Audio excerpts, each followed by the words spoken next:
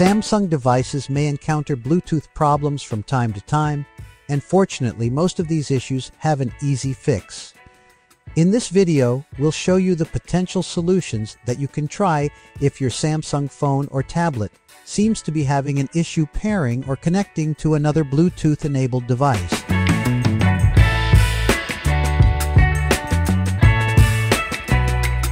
By the way, please like and share our videos to help those who has the same issue so that we can help them too. Once you're done, let's begin. Fix 1. Toggle Bluetooth function on and off. When facing any Bluetooth connection problem, the very first thing that you want to do is to ensure that you turn on Bluetooth in your device. Some people may forget to simply enable Bluetooth.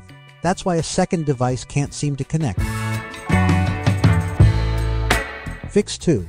Identify how your devices connect via Bluetooth. There can be a number of ways to connect devices via Bluetooth. Some devices may require entering a code in your device, while others may need that you touch your phone physically to the second device. Although enabling Bluetooth connection in most Samsung devices is almost universal or the same, other third-party devices may not be so. Some may require that you press and hold a button to pair to another Bluetooth device. Fix 3. Check for compatibility. This one goes with the previous fix number 2. What you must do is to ensure that both devices are compatible in terms of Bluetooth connectivity. As far as Samsung Galaxy devices are concerned, all of them are usually capable of connecting to most Bluetooth devices, even those that use older Bluetooth versions. We suggest that you do some research about the device that you're trying to connect to your Samsung to see if there's a compatibility issue involved. Fix 4. Restart your Samsung device. Another simple solution that you can try when you encounter a Bluetooth problem is to restart your Samsung phone or tablet. All Samsung devices are designed to be forced rebooted if the power button is pressed and held for about 30 seconds. Fix 5. Clear Bluetooth app cache and data. Like any other Android apps, your Samsung's Bluetooth app can misbehave due to a corrupted app cache or data. We suggest that you troubleshoot the Bluetooth app by erasing the Bluetooth app's cache first. If that won't change anything, then you can go ahead and clear its Bluetooth app's data.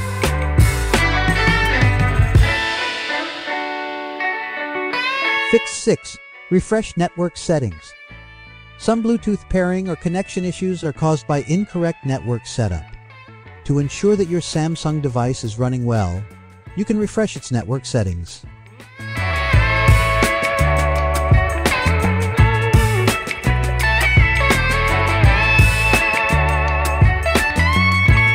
Fix 7.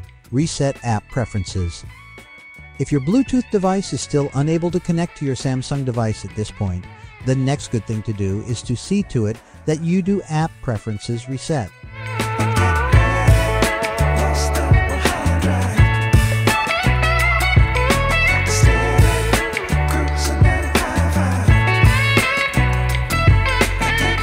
Fix hash 8. Perform a factory reset. Should none of the solutions earlier help, you need to do a factory reset. This is going to erase all personal data from the device and return all software settings to default. While not exactly an easy fix, the software state of your phone or tablet will be like brand new, which can free it from any bugs that may be the reason for the Samsung Bluetooth problems you're having. That's it. If you think that this video is helpful, we would appreciate it. If you can leave a like or comment, subscribe to our channel, or share it to your friends. This can greatly help in making Google's algorithm can find and recommend this to others.